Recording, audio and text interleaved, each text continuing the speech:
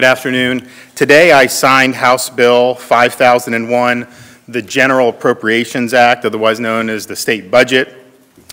We worked uh, very hard uh, throughout the end of last year and then into the legislative session on some really key initiatives, teacher pay, environmental restoration, and I really enjoyed working with the legislature. I think that they worked very hard. Um, I think that they uh, did a, a, really good job.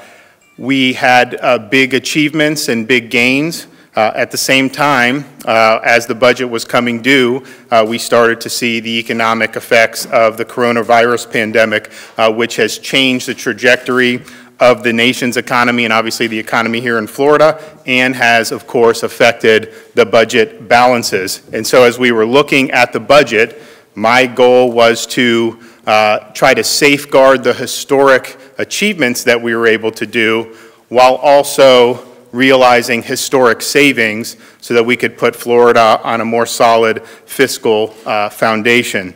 And so that's what we did uh, over the last many weeks, going through a lot of different provisions of the budget. So the legislature approved a budget totaling $93.2 billion. Uh, with today's actions, my, veto, my vetoes will total over $1 billion, uh, despite the unprecedented circumstances necessitating the level of reductions. Uh, this $92.2 billion approved budget provides significant support for education, uh, the environment, infrastructure, child welfare, and more. And I would note that given po Florida's population growth, it is a decline in per capita spending uh, over last year's budgets. So while these actions uh, uh total over $1 billion, uh, roughly half of that is general revenue, uh, half is trust fund balances. They will be set aside for whatever needs may arise in the coming year of the $1 billion in total vetoes, and I think this is important because uh, everyone understands the circumstances have changed. When we did our budget uh, back in the fall, uh, we were operating under a certain uh, set of assumptions. And we always knew that we could see uh, an economic downturn, but I don't think we necessarily forecast the economy simply stopping for a time. Uh, so we were operating under a certain set of assumptions. The legislature was as well. Um, as the reality changes, uh, I think we all have to recognize that none of us are going to get everything that we want. Um, and so I thought it was important that, that I was stepping up to the plate on that as well. So of the 1 billion in vetoes, over 550 million are vetoes that I included in my governor's recommendations uh, in, in, the fall. Uh, and this includes uh, vetoing the $20 million job growth grant fund, which is a great tool for a governor to have to be able to use. Of course, once the coronavirus pandemic hit, uh, we, I stopped spending money out of the uh, uh balance previously, uh, so that's about a $25 million reversion, and then we're vetoing the $20 million uh, for this year, which is something that's uh, important. I, I, I, want it, but at the same time, you know, sometimes things just need to be put on pause. So we anticipate nearly $800 million of funds reverted by state agencies for the current fiscal year, bringing total unallocated general revenues for the next fiscal year to 2.3 billion. Florida's reserves are also bolstered by the Budget Stabilization Fund, which is about 1.7 billion, uh, the Lawton Chiles Endowment Fund about 800 million, and 1.5 billion uh, in unallocated trust fund balances. So in total, Florida stands with 6.3 billion in total reserves, uh, which you know we may need to absorb the revenue losses uh, that we have experienced due to COVID-19, uh, while also leaving the state ready to weather any storm that the economic recovery uh, may throw our way uh, going forward. Uh, and that, of course, does not include uh, federal dollars from the Federal CARES Act, which we have also used and, and will continue to use. When I announced my budget at the beginning or at the end of 2019 for the 2020 year, we focused uh, primarily on a couple things, one of which was uh, teacher salaries. Uh, we wanted to take Florida from the bottom half of the country in average minimum salary uh, to the top five. Uh, it was not an easy fight. There was a lot of folks that didn't want to do that, uh, and I'm just pleased to say that we uh, were able to get $500 million to uh, increase the average minimum salary in the state of Florida for K through 12 teachers, uh, as well as including money for salary increases uh, for teachers uh, who are more seasoned and other eligible personnel. So we are now uh, in the top five for average minimum salary, uh, and I think that this is really a historic achievement. I want to thank the members of the legislature uh, who supported this really key initiative. Uh, we also have other key initiatives regarding K through 12, workforce, higher education, uh, all trying to prepare our students for the future. Uh, we do have the highest funding ever for K through 12 schools uh, with an increase of $137 per student. Uh, $100, $100 million for mental health programs in our schools, which is a $25 million increase over last year's funding, an additional 22.8 million for a total of 1.3 billion in state operating funds for Florida's colleges, and an additional 44.4 million for a total of 2.7 billion for Florida's universities. And we did not increase tuition, uh, which I think is very, very important.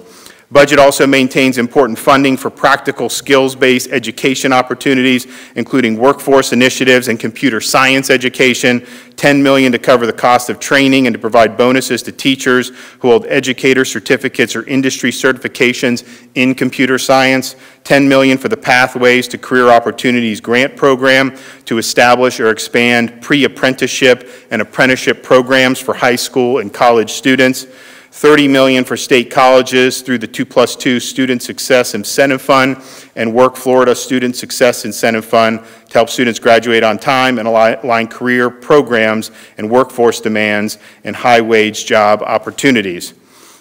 One of the big initiatives of my first year in office was support for Florida's water resources and Everglades restoration. Uh, we sought uh, $625 million uh, to continue the momentum and the progress on those projects. Obviously, we were able to pass uh, a couple very good water resources uh, policy bills, um, which we uh, will, will be signing very soon.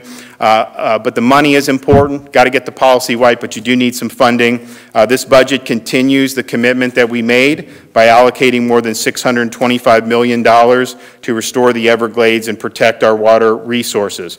And this is two years in the row that the legislature has stepped up and really put uh, their money uh, into this key in, these key initiatives and I think ways that the Floridians really appreciate. Uh, so we're looking at over 322 million for Everglades restoration, 50 million for springs restoration, 160 million for targeted water quality improvements, 40 million for alternative alternative water supply, and 25 million to combat harmful algal blooms and red tide. We also uh, have a budget that supports the mission of public safety. Uh, we are taking steps to fund pro innovative programs, safer correctional facilities, and evidence-based program for at-risk youth. Uh, specifically, we have 2.3 million to implement the first statewide behavioral threat assessment strategy in the country more than 54 million to provide a retention pay plan to correctional officers, correctional probation officers, and other security services personnel. 17.3 million to begin transitioning correctional officers from a 12-hour shift to an 8.5-hour shift, uh, and 15 million to fund prevent prevention programs for at-risk youth. We also understand the importance of infrastructure, particularly in a state that has added population. Uh, this budget fully funds uh, the DOT work program at $9.2 billion. Uh, this is vital funding to increase infrastructure capacity, new highway construction, bridge repairs, and seaport aviation and transit program improvements. Uh, the budget also provides 145 million for workforce and affordable housing programs across the state to help working families meet basic housing needs.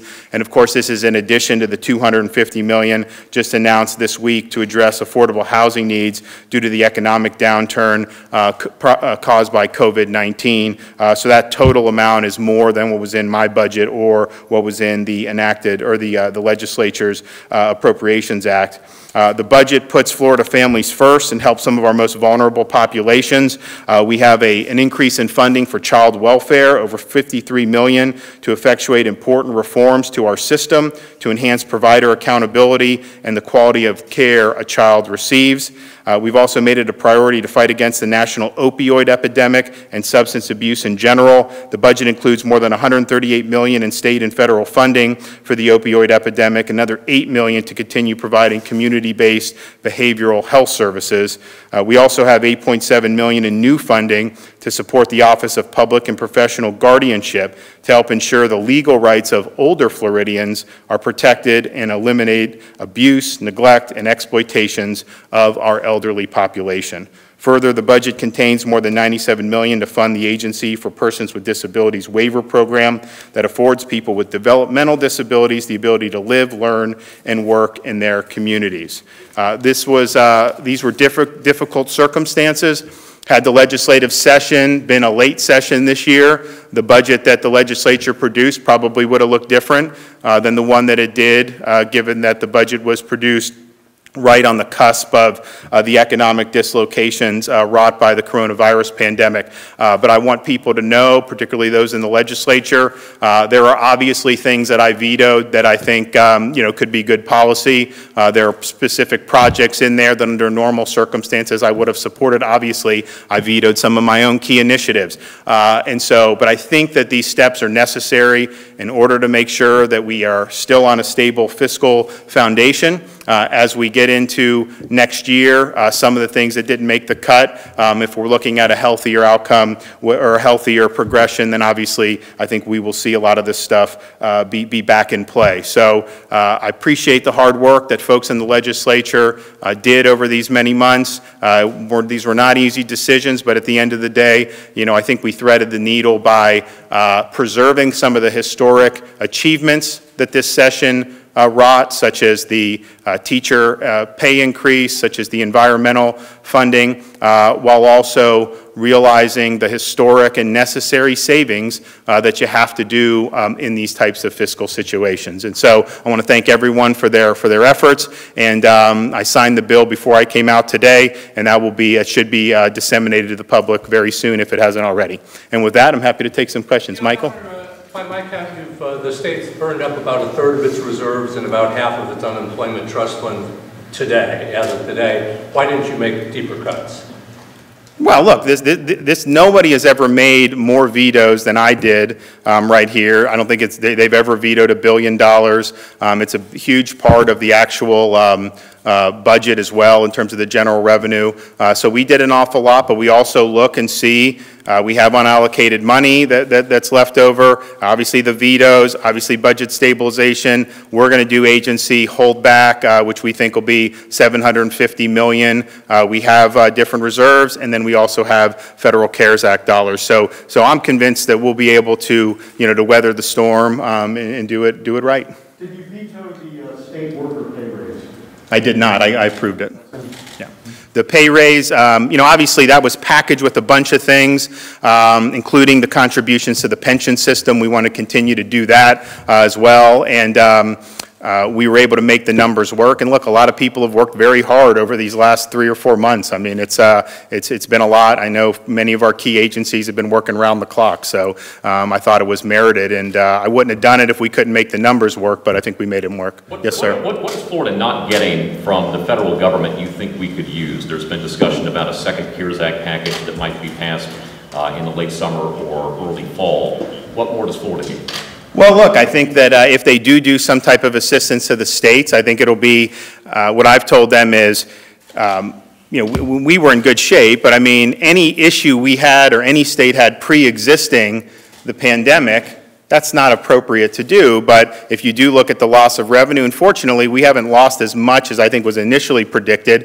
Um, I think it'll be for this fiscal year, uh, the predictions were a lot higher. I think we're going to be even under 2 billion um, in terms of the last uh, last few months. So but I think that that lost revenue is something that was a result of, you know, the national policy in terms of, in terms of how to do the pandemic. And so if they want to, they want to deal with that, um, you know, obviously I would be, I would be supportive of doing it. But I, I definitely do not think that they should do any pre-existing problem we had before that. Um, you know, we need to figure that out on our own.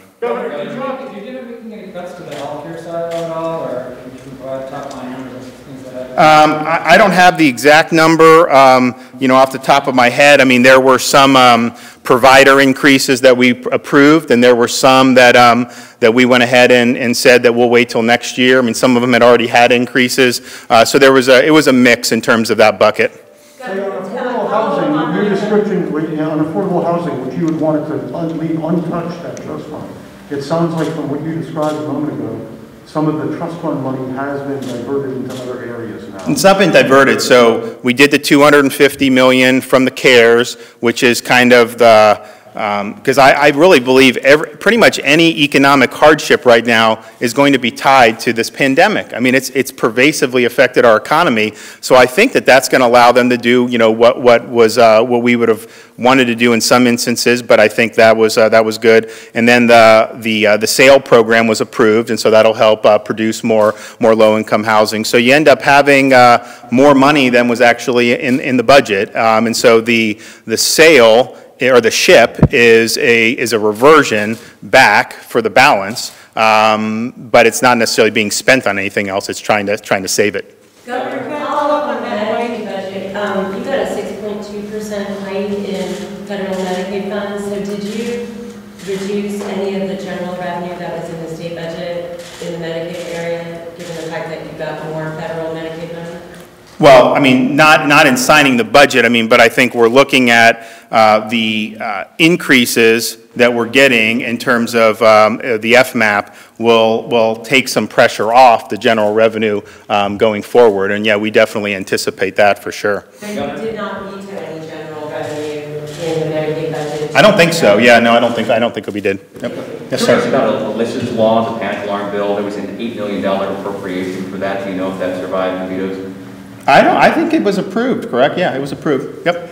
Did you approve the nursing home rate increases? We did support the nursing home rate increases, yep.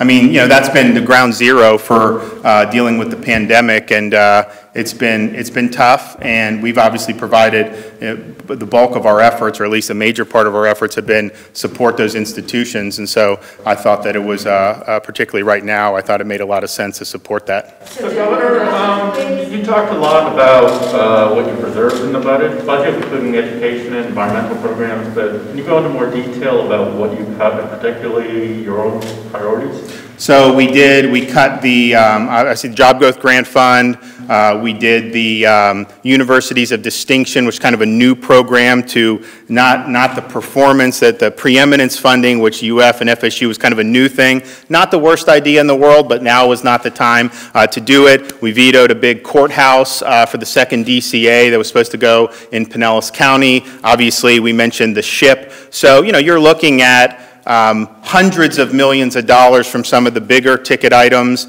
and then um, a lot of the smaller projects. One of the things people will look at when they go through, last year, if you remember, we obviously wanted the major water initiatives, and I think those were very important, but I also approved a whole host of, of really local, more parochial water stuff. And I mean, I like a lot of those projects. Obviously, the local uh, communities have a responsibility in some of that as well. We looked in the stuff that was not in the BMAP, and a lot of those didn't make the cut. Um, again, not, I think some of them are, are good, uh, but we just had to figure out, okay, what's the priority? So those are things that, uh, if the situation improves, then we'll, uh, we'll take a look at it next year. Governor, Sir. yeah, reaction to the city of Jacksonville imposing a mask requirement? So we've, um, you know, advised from the beginning of May um, about situations where, where that would be appropriate, but we've left it to the locals to, to make decisions about whether they want to use coercive measures or impose any type of, of criminal penalties. You know, we're not going to do that statewide, um, but, you know, we've wanted to have a collaborative effort with the locals from the beginning. Uh, different uh, areas have, have handled this differently based on their facts and circumstances, and even today, um, you know, you see obviously discrepancies throughout the state um, in terms of, uh, uh, in terms of the course uh, of the pandemic. So we've worked very closely with Jacksonville, just as we've worked with the folks in South Florida and others, and we're going to continue to do that and, and support efforts that, that they think are appropriate um, in their given jurisdictions. Thanks, everybody.